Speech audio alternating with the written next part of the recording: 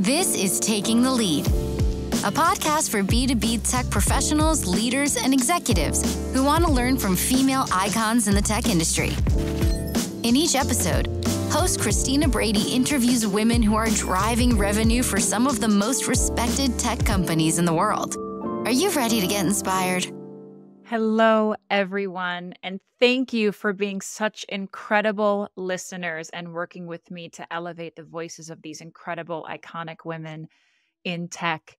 This episode is a little bit special. If you know from listening to my show, I interview the dynamic and wonderful female revenue leaders that are working at B2B technology companies across all different departments and all different roles of seniority.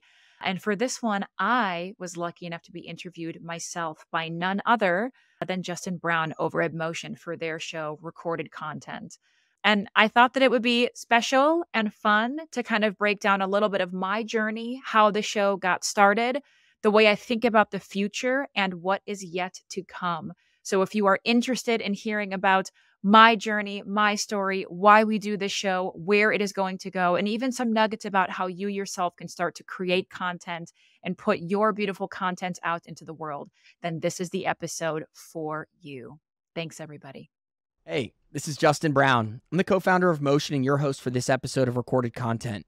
Recorded Content is brought to you by Motion, a done for you podcast agency for small, scrappy B2B tech marketers.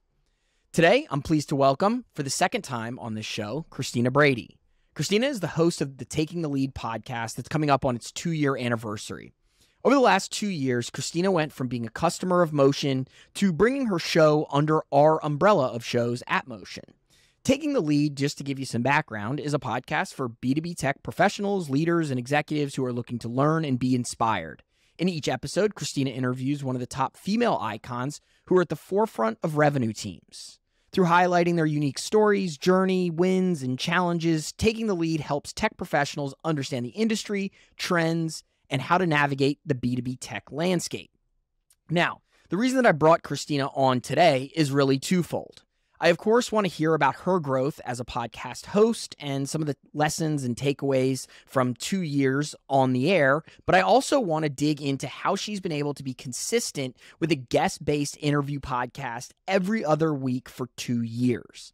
Podcast after podcast I see out there in the B2B landscape struggles with consistency, yet through everything, through job changes, and other things, Christina has kept her pedal to the metal and kept on pushing with her every other week show. So, with that and without any further background, let's bring her in. Christina, welcome to the show. Hello, Justin. Thank you so much for having me.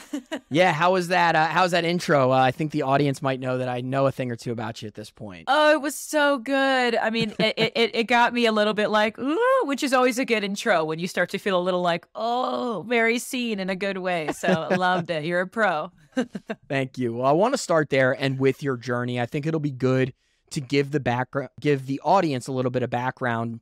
So two years ago, how did you know that podcasting was something that you wanted to do professionally?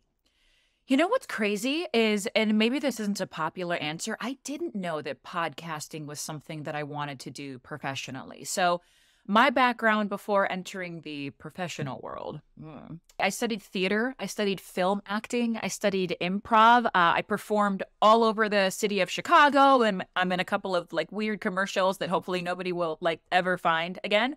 And I always encouraged the people on my team, especially those who were customer facing, to take improv classes and just put yourself out there in that way. And I've always enjoyed being on stage and sharing my thoughts and interacting with people and just being what I call maniacally curious about them. And so when the idea of starting a show to really make an impact in the B2B SaaS DE and I space, when the idea came up to start a podcast and feature these incredible women, I was like, oh, yes, I think I can do that. Let's give that a shot. So I I mean it wasn't like I went into it like I I'm going to be a podcaster. This is the yeah. time. It was like, it was presented as an idea. To me, it was this checked the box of me fulfilling my passion of talking and learning about incredible women in this space. It checked a box of being able to put incredible content out. And so I said, sure, why not? Let's do a podcast. And it's, it's, it's been amazing. And your company's made it so easy to get it off the ground and feel supported and this is not a commercial. I really mean that. it's been it's been awesome. So, yeah. Yeah, it's interesting. So, when the idea came up, how did how did you feel about it? I I imagine you were at least a little excited with a background of being on stages or behind a camera, but has it all transpired the way that you thought it would? Ah, it's been so much better. I mean, I was excited. I, couldn't tell which I was more. I was either really excited or really, really nervous because at the end of the day, we all want people to enjoy listening to us speak. But I was terrified that I would go into the realm of pontificating or create boring content or not be able to get what I wanted to out of my guests. And you're, eh, bottom line, you're like, anytime you're putting any kind of content out, you're like, what if I suck? Like, what if I suck and then I just have all this stuff out there that sucks? So I was half really, really nervous and then half just excited because I said, it doesn't just impact me if this content doesn't resonate, it impacts my guests and they're trusting me with their stories. And so I needed to be able to do that justice. Yeah. And I'm sure some of those uh, feelings of, is this going to be good enough? Uh, are people going to care? Also led to some of, you know, you doing enough homework to make sure that it got there and not just thinking, hey, I'm just going to put something out and it's going to get the job done, but really trying to put something out there that people were going to care about. 100%. And that's the big thing with my show is one, so many of the times that I'm having conversations with the incredible women that I have on my show, the brilliance truly pours out of them. And the first time that you do anything is usually the best time. It's the most passion, it's super authentic. And so I also wanted to be careful to not cross the line of being too overly prepped and having answers that felt generic or rehearsed. Like some of my favorite moments from the show were the moments that were completely off the cuff, that we laughed about and had a real laugh about or real moments on the show where I'm learning something from them. And so what it means is I have to do this this balance between doing my research and making sure that my guest feels confident and prepared, but not rehearsed. So finding that balance has been interesting. And how have you seen yourself over two years evolve as a host? I would say I've gotten a lot more comfortable. And the thing that I've gotten more comfortable with is actually injecting a little bit more of me into the show. I would say the first couple of episodes, I was so careful to really highlight my guests and pull out their story that there's not a whole ton of me in there. And honestly, that's fine. There doesn't need to be a lot of Christina and anything. But over the last two years, I've sort of found my ability to share my own thought leadership and my own ideas and my own stories without crowding my guest or making them feel like suddenly they're an audience listening to me. So it's been sort of, I guess, creeping in and figuring out where do I fit in within my own show without taking over the show or or trampling on their narrative. Yeah, it's such a fascinating dichotomy of interviews. You know, I have customers who have have to be by the nature of their profession more of reporters in their space. And I'll give an example, you know, I have I work with a person who is a marketer by trade.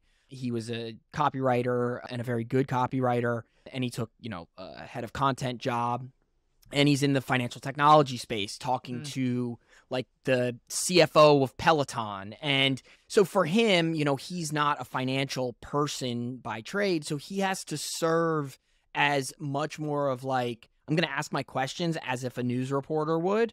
And then I have other people who have the ability to you know, really be subject matter experts in different spaces. But I think one of the things that I find most fascinating is when you do have these people who, you know, going to go back to that first example, after having 20, 30, 40 conversations with CFOs, even though he's a marketer by trade, he does start to have at least opinions on things.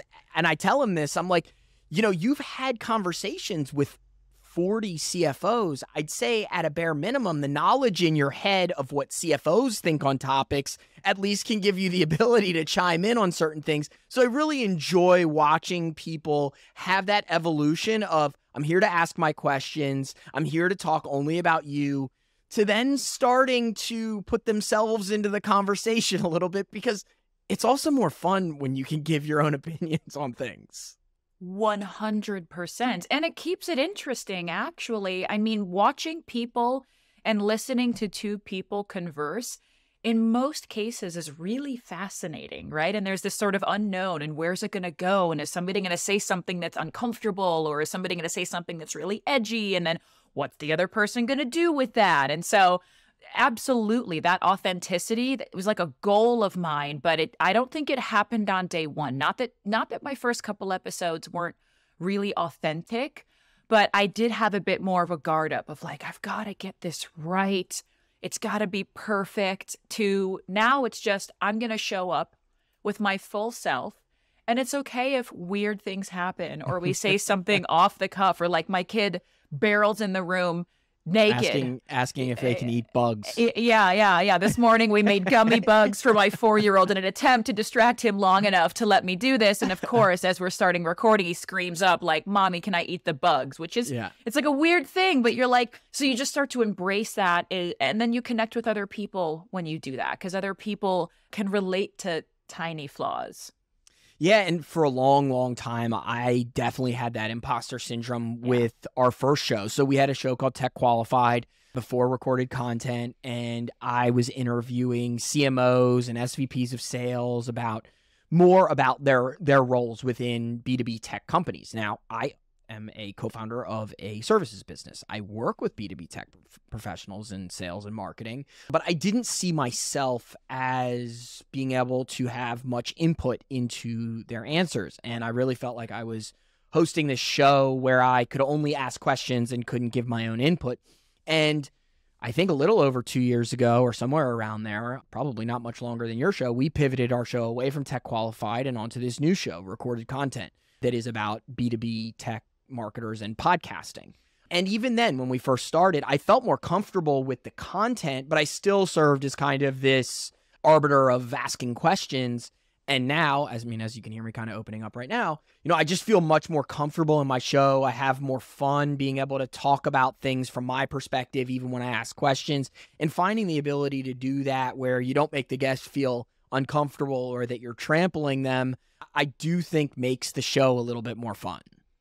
It does. And it also keeps the conversation going. You get to the point where it gets stale for everybody in the room and everyone listening when it's, I'm going to ask you a question and you're going to answer them. I'm going to go, oh, wow, that was a great answer. Next question. right? Yeah, yeah. And, like, we hear it and you're like, eh, I- I'm not here to interview people. I'm here to have a conversation. And within that conversation, we're going to uncover so many things even me and my guest don't know where we're going to go. But then the more you start to contribute, I find when I would start to tell my own stories or my own ideas, I would see their body language relax a little bit and they'd sit back. And I was like, now we're just two people talking yeah. about cool stuff. Yeah. Yeah. And, and, you know, I've had this question to me before. There are shows out there, and this is how Tech Qualified was for the most part, where you ask like the set uh, list of questions because everybody pretty much has the same background and that's what I was doing. And it was just like so mind numbing after I'd done a hundred episodes of that, asking the same 10 questions of like, how does sales and marketing interact at your organization? And I'm like, and, and the thing is, is I got a lot of positive feedback on the show, but I just wasn't enjoying it anymore. I was like, I can't ask this question again, or I'm going to put my head through a wall. Well, that I mean, you actually just hit on another really key piece is that you have to find a way to look forward to every episode because as the host, we have to show up. We have to bring the energy and that sometimes means that we're putting down a really hard day or it sometimes means that we're digging into a topic that maybe we don't know or we're somewhat uncomfortable with. And so I think you actually it's it's great advice to make sure that going into every episode you're setting up a scenario where you can be really comfortable with the content and you're excited to dig in and you're not like, okay, here we go. Let's talk again about how we're all working in silos and how to break down those silos. And it's the same content over and over again, right? Like we can do better than that. And where I get really excited about episodes, you know, you heard, we, we joked about it even after I finished, was my intros. You know, I really work hard at those intros to these shows to make sure that I'm setting up you know, what is this episode about and how is it unique in its own way? You know, I know you have your guest profile and we're going to talk about that to continue to get into that, you know, mine is a lot of times talking to other B2B podcasters and I never I try to never jump into an episode like this is another episode interviewing a B2B podcaster. It's okay, I'm talking to Christina today and Christina is the host of the Taking the Lead podcast. But what specifically, and we, you know, I mentioned it in that intro, is okay, we're going to talk about her experiences over two years. We're going to talk about her ability to stay consistent. You know, those are the specific, narrow topics that I want to get into. But then the conversation is going to evolve from there. But at least it's unique in its own way. And it's something that I can get excited about having a conversation about. Absolutely. Absolutely. And like for me, probably the intros. So I used to do a little bit of a longer, more static type of intro and then I realized that for me, the excitement was the consistency in how I open, which always comes from my guest. So I have to be really specific about tell me X, Y, and Z. And I can dig more into that. But essentially, what I wound up doing, I think, actually in the podcasting world is a little bit of a no no, but I've made it work, I think.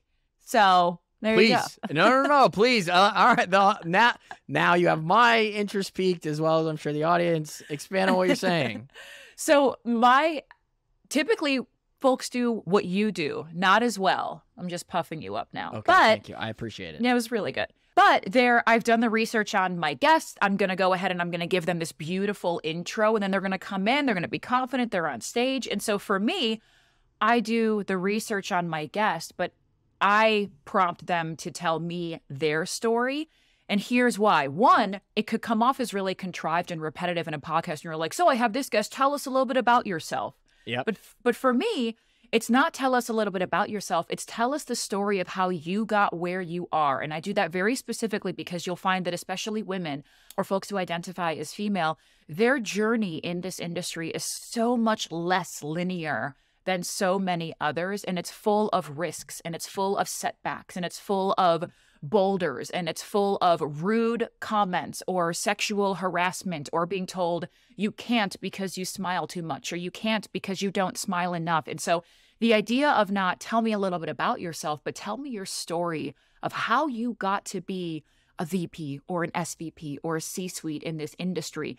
Every single story is different and incredible, and none of them are linear or predictable. And every single one of them has this personal element of, I didn't think that I could, or somebody told me that I can't, or I experienced X and it, and it motivated me to go do Y. And so those stories are actually the entire basis of why we do the show. So it's technically a no no, but it winds up working.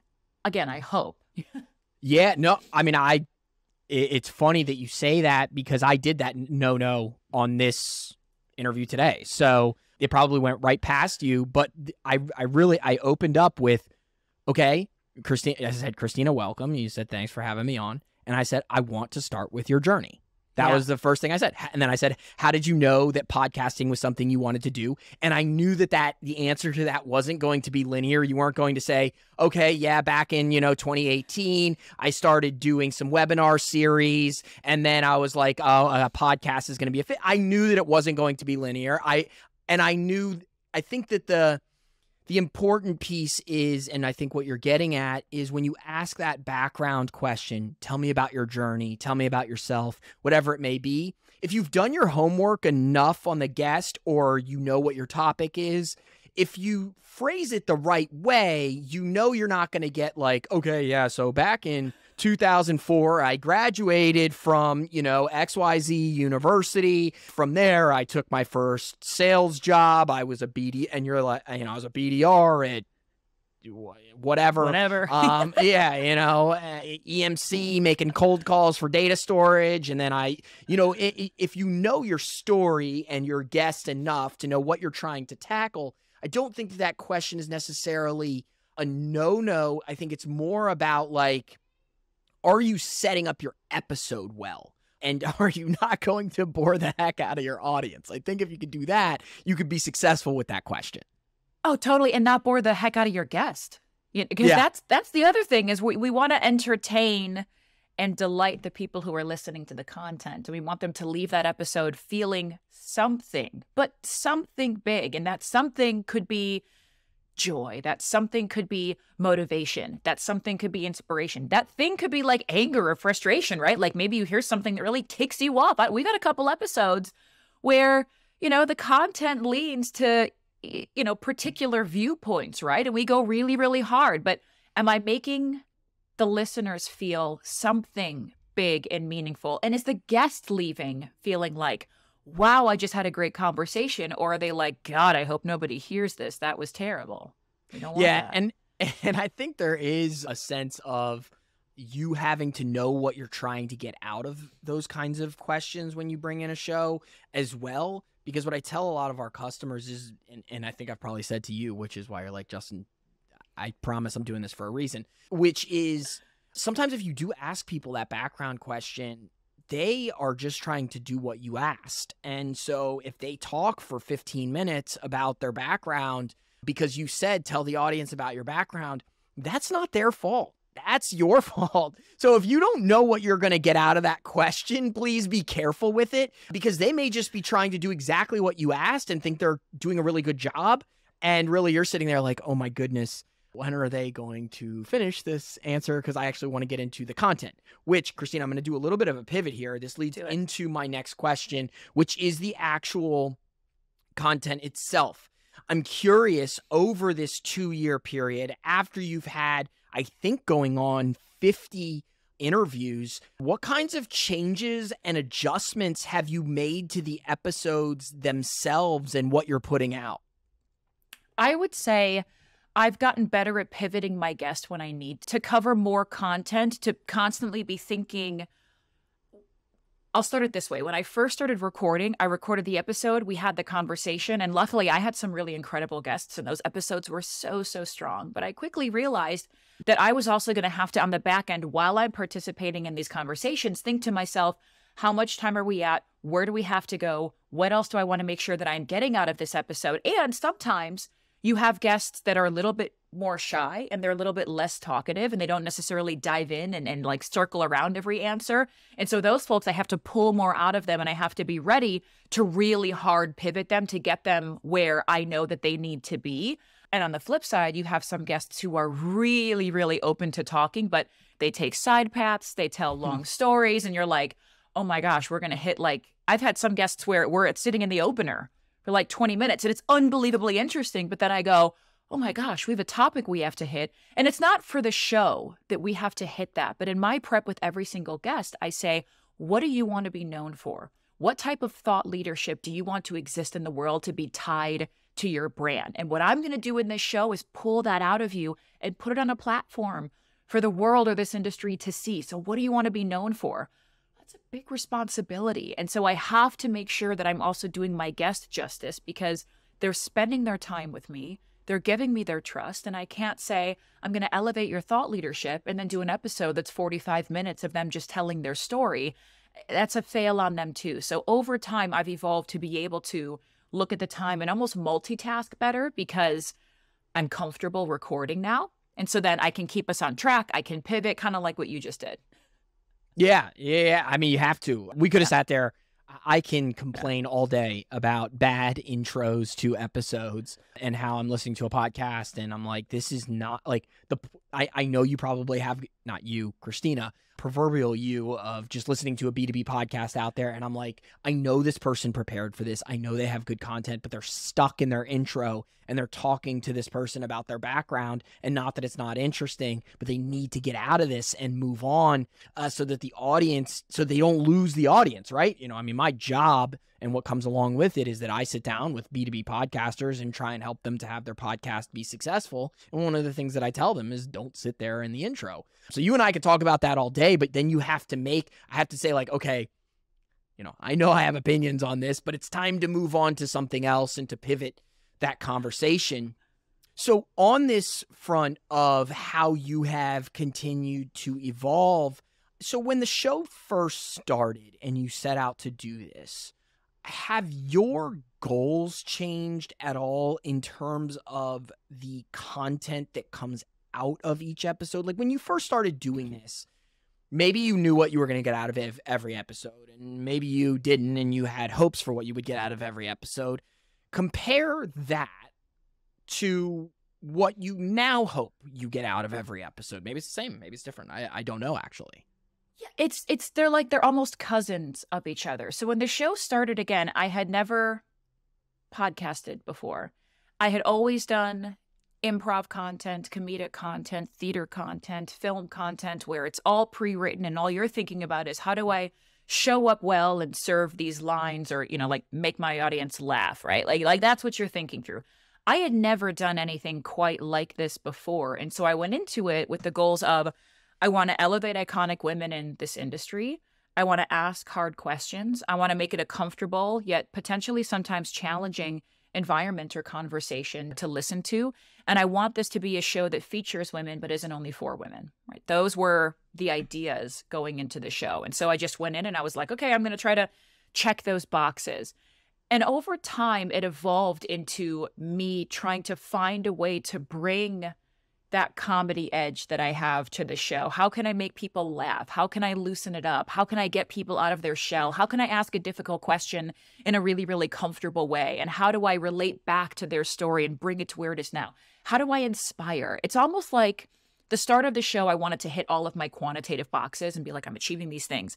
Mm-hmm. And then qualitatively, the show just turned into me figuring out all the pieces that I want to dig and almost bringing more heart to it if that makes sense. So the goals haven't changed, but I would say that I am I am highlighting my guests so much more holistically than I was in the beginning of the show. Yeah, I mean, it's a great timeline for anyone to look at, which is, you know, what I try to tell people when they set out for podcasting is you want to have a good theme to your show. You want to say, you know, okay, this isn't just a show for insert your ICP here. What is the theme of the show? How does it help? Try and find some form of niche that you're going to be able to break through because at this point, there's 2 million podcasts that are out there, more. You know, by being very generic or very broad, it's going to be tough for you to break through the mold.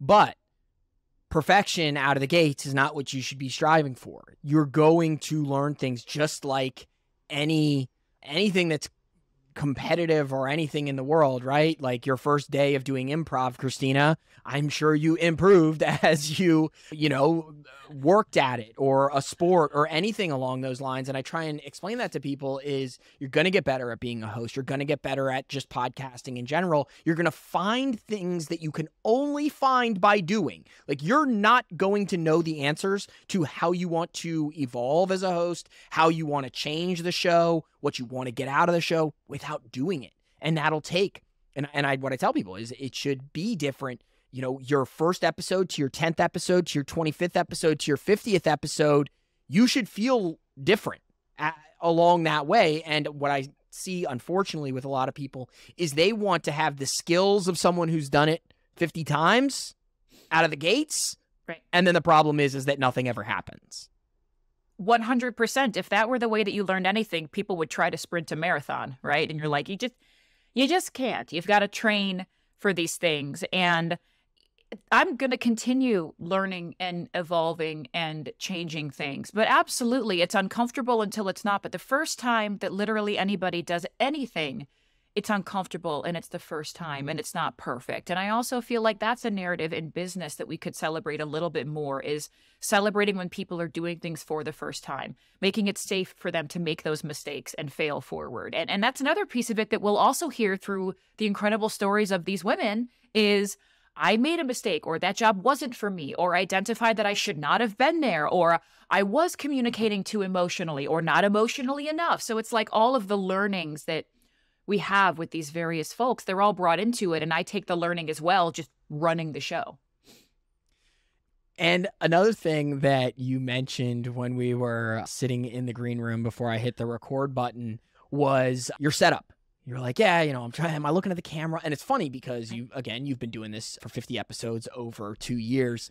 And so I wanted to talk about that a little bit, which is your physical setup, the equipment that you have, your location. Can you talk about your evolution of there and adjustments that you've made with your setup over the last two years? I'm laughing because it's been ridiculous. The first time that I ever recorded anything I did it in the closet of my office because I was so scared of the ambient noise from this window that I was like, I have to be in the closet.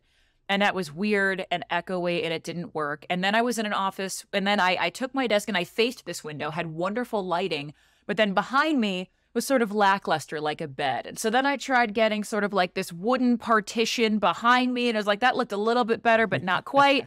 you know, until finally I have the setup that you see now, which I think is objectively the best. And then the one thing that I did know about just from my artistic days was the kind of equipment that would at least produce somewhat great sound. So mm-hmm. I've got headphones that are kind of blocking out the outside world so I'm not distracted by anything. I've got one of these Yeti mics. I'm going to move it, which you're going to hear, but one of these guys.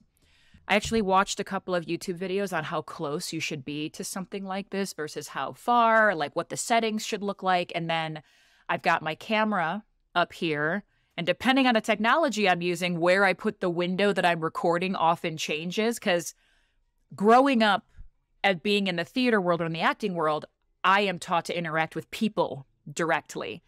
And interacting into a camera and not looking at the person that I'm talking to, really unnatural for me. So I've always tried to set it up so that my the person I'm talking to is right under my camera so that I can look at them and also be recorded, but it doesn't always work out that way. And then like I'm doing right now, I'm just talking to a little white dot.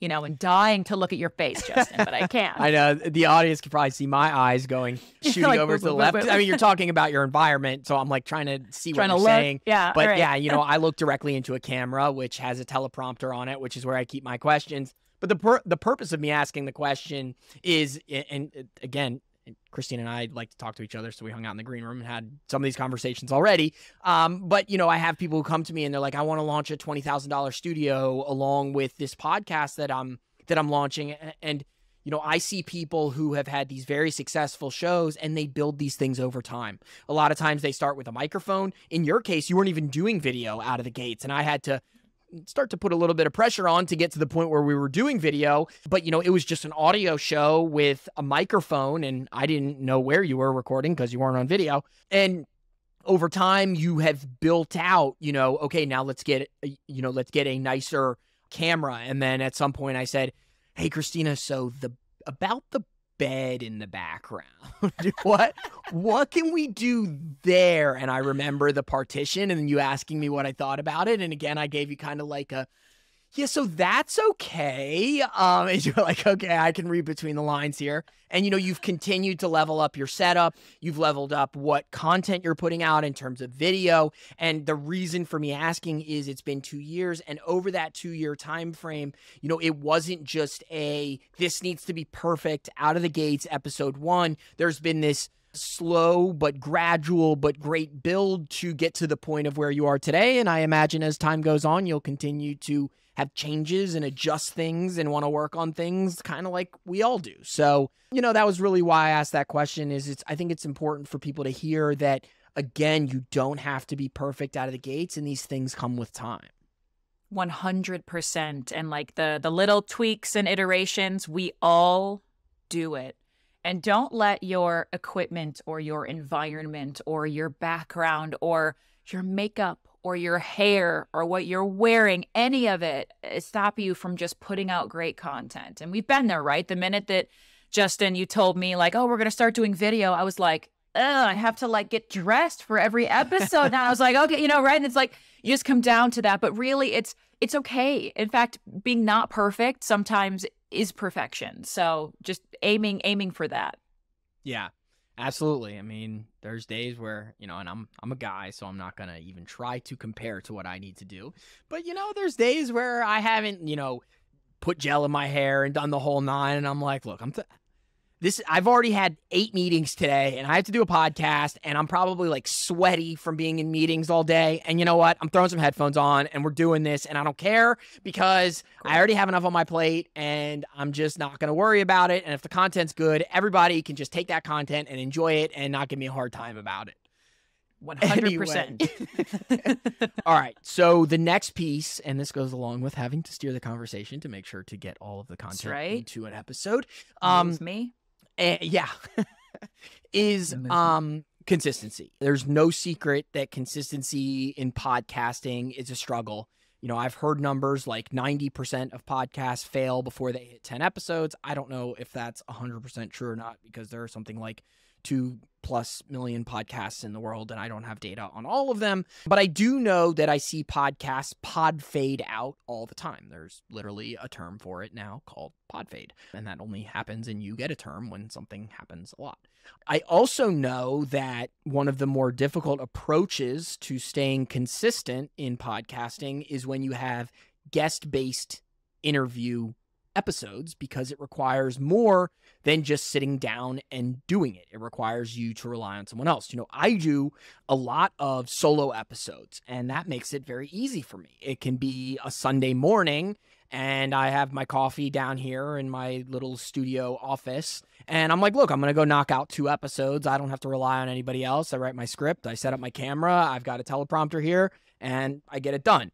So I think the fact that you've done these episodes, 50 interviews over two years, every other week makes it even that much more impressive. So, can you walk the audience through what your process is to make sure that you stay ahead of schedule and on track with your show?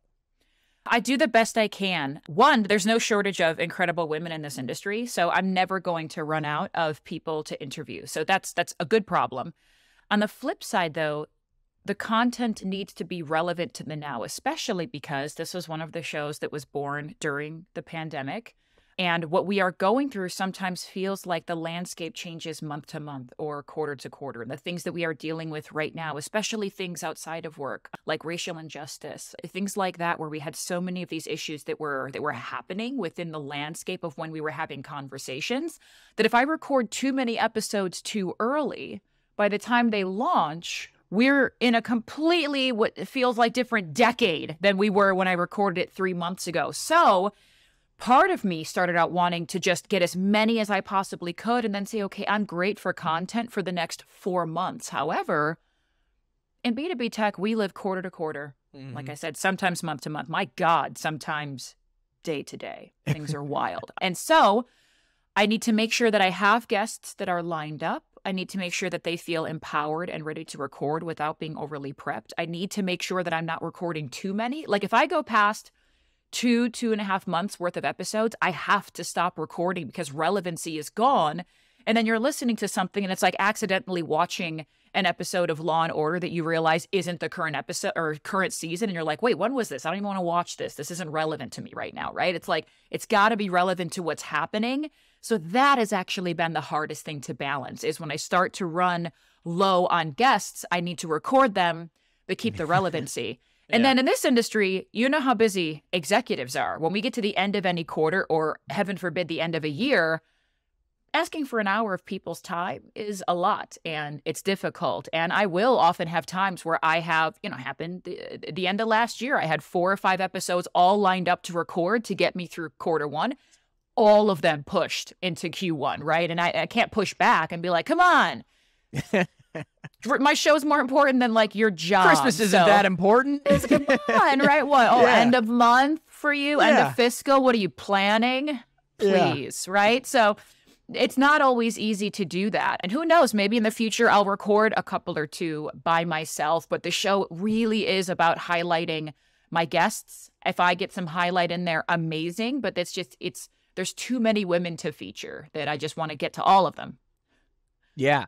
And look, I don't even know if I know 50 people and you've conducted interviews with 50 people and I I know that you say there's not a shortage of women out there to interview but you still have to find them. Right. You have to get to know who they are and whether or not they're going to be a fit on your show. So are there approaches that you're taking to make sure that you can meet these people? Like, are you doing anything like, hey, or, you know, when you have a guest on, are there other people that you know that are like yourself that you find impressive? Like, what are you doing to, to fill that pipeline of people? I mean, you said the word pipeline, you're going to spark the sales leader in me. I have a solid inbound and outbound strategy.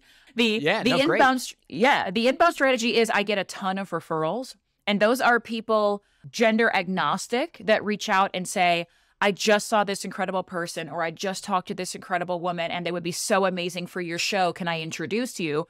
I get a solid amount of those. And then on the flip side, I will honestly cruise LinkedIn or whatever social channel or media, or if I see a company that does something really neat, I'll look into the company and I'll say, like, who are the female leaders and who can I grab to like highlight while they're doing mm. something kind of neat? So there is like an inbound and outbound strategy, and it's kind of always looking and always intaking. And, you know, the rough part is sometimes there is somebody who I know would be an absolutely incredible individual to talk to.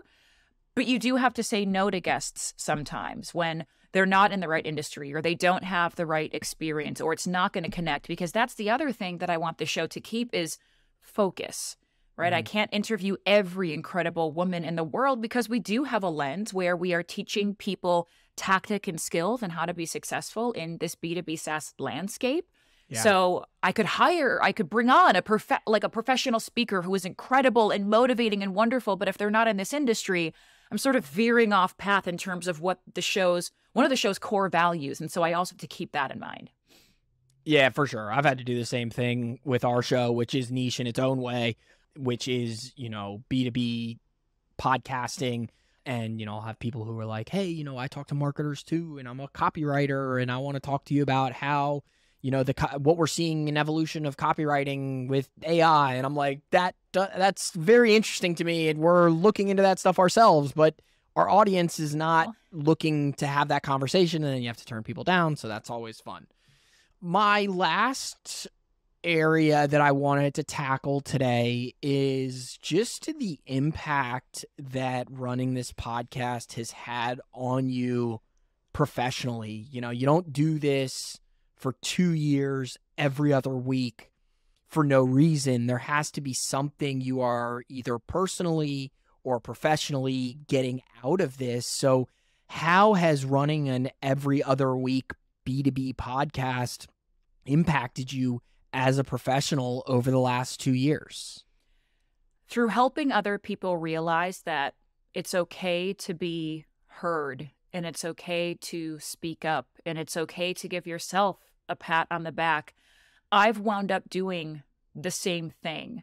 There are people that I don't know that I've never met all the time who will reach out on LinkedIn and say, I listened to your podcast and this episode specifically, and I'm going into XYZ meeting so much more inspired, or I have what I need. And being able to make an impact on people like that, I feel so lucky. Uh, so many people don't have the opportunity to do that. And so I can reach so many more people and I can encourage others to do the same because that's that's my whole idea is I want to show I want to show women I want to show the people of the world who identify as female that your voice is important no matter what. And if you're not comfortable getting your voice out there then I will help do it for you because we need we need more of that. We need more diversity and equity in this B2B landscape. And there's incredible people doing incredible things that never get their light. And in the past I felt like that before I felt like I'm doing incredible work and sometimes you're not seen.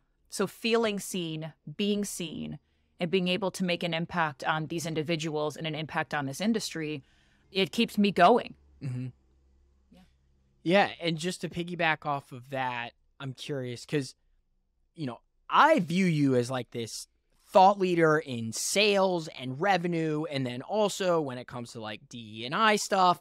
And I don't know. Sometimes maybe like I overplay my hand and you're like, Justin, I, I, don't know if you see yourself that way as much as I do or other people do, but I'm curious from your perspective, how do you feel that Christina Brady pre podcast and Christina Brady two years post starting the podcast is viewed differently in the professional landscape?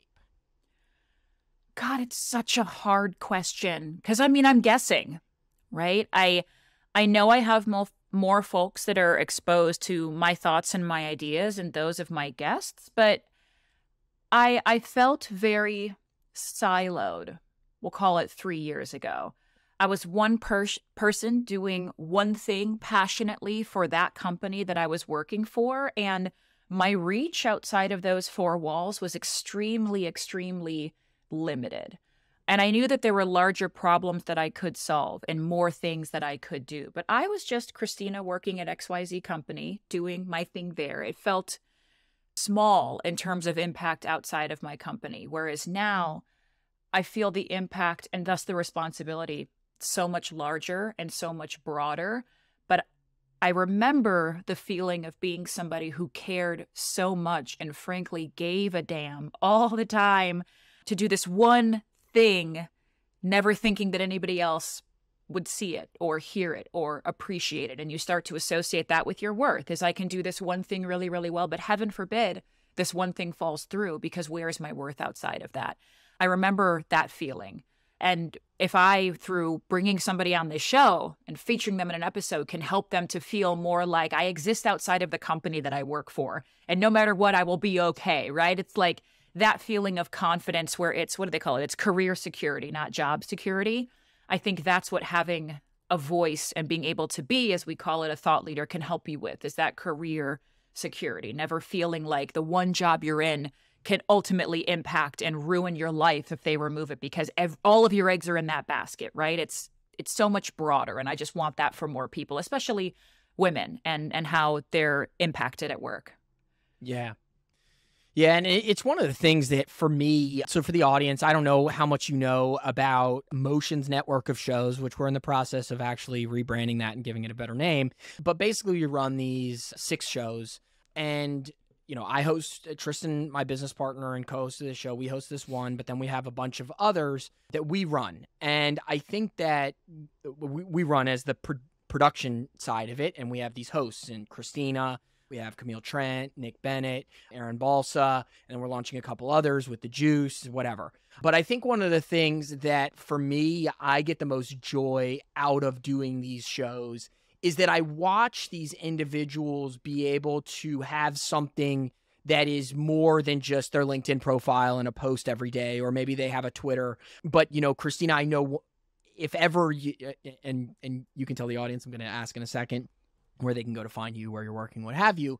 But let's say in a year or two years or five years, whatever, you're probably not going to retire at the company that you just took a job with you're going to be out there looking for another thing. And one of the things that I think is so cool is these people that we work with on these shows, you know, they have this piece of intellectual property that they can point to and say, like, look outside of my job and, you know, here's my resume and here's what I do on a daily basis and here's how I'm going to help your company. But outside of that, like, and I'm not just an influencer, and for the audience who's listening, I'm using finger quotes. I'm not just an influencer who posts on LinkedIn and gets a bunch of likes, but like I'm actually doing something. Like I'm doing something with the knowledge in my head to put out some kind of, in my opinion, awesome piece of content that is this podcast that I'm putting something back into the world.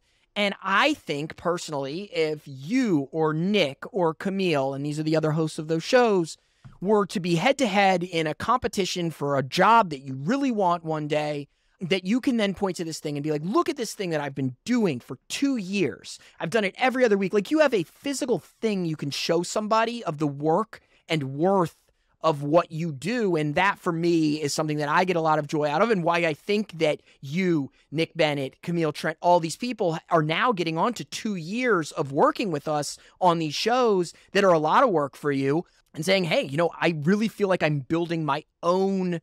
I don't even know the term for it, but like I, I, am building my own legacy of who legacy. I am as a professional, and and that for me is always fun to watch.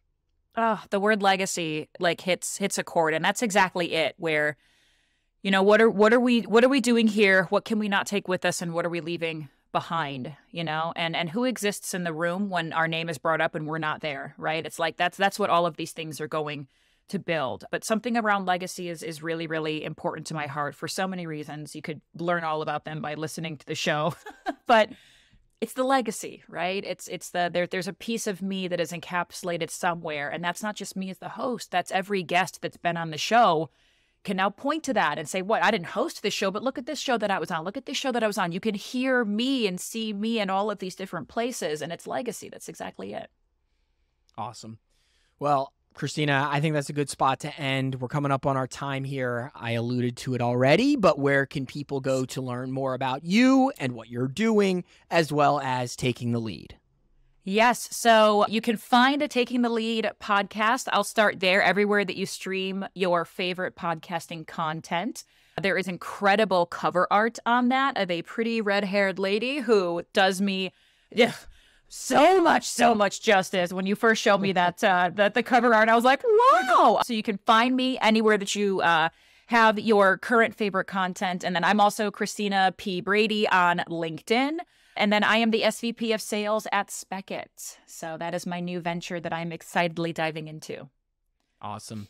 Well, Christina, thanks again. I really appreciate you spending some time with me today. It was great having you on recorded content.